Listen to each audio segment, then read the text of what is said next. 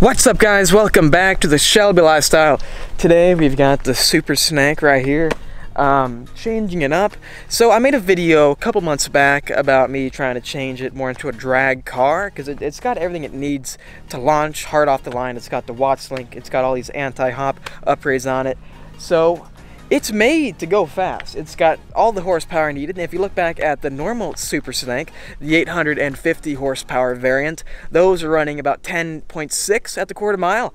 And it's not too far off to think this car can't do better. And I'm aiming for it to be in the nines. I think, and I know it can go in the nines. So what I'm planning on doing is the first thing that I was talking about in the previous video. I never did it because I was working on the GT350R and going to the track with that a lot. But I'm to be focusing more at the drag strip now on. And right now, as you can see, I do have street legal drag radials. They are Mickey T's, ET Street SS.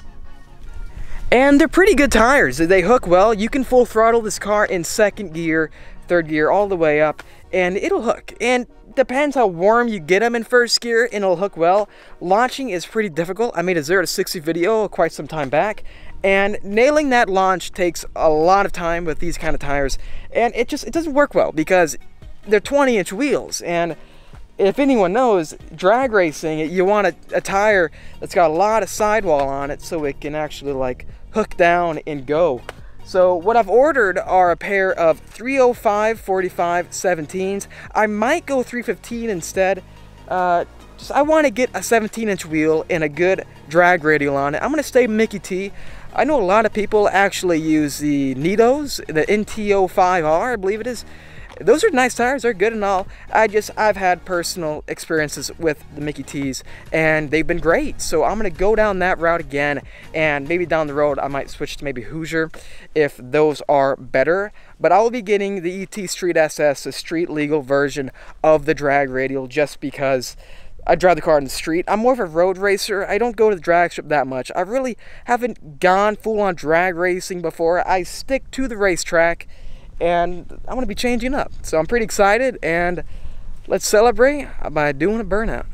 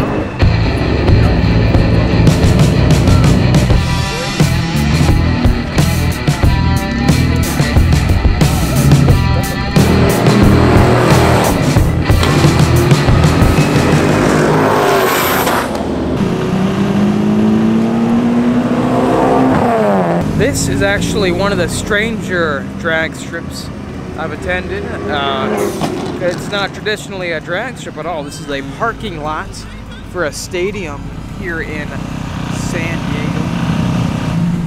Diego. Weird thing is though, you don't see that many high-end cars here. It's mainly the Japanese um, type. Uh, you do get quite a bit of Mustangs, but no, only a few Shelbys. Uh, there is, I think, two to three GT350s here. Not many Hellcats. You thought you'd, you thought you'd see a lot of Hellcats or or Dodge Demons out here, but no. When I do take out the Super Snake, plan on going against one of those demons. I got plenty of comments going, hey, you know, you talk the talk. You know, you need to, you know, show us what the car can really do. Well, that, that's what I'm planning to do. I'm hoping to get the car as a drag strip really soon. Uh, the new tires should be coming in within a week, and same with the rims. I'll get back to you guys when that happens.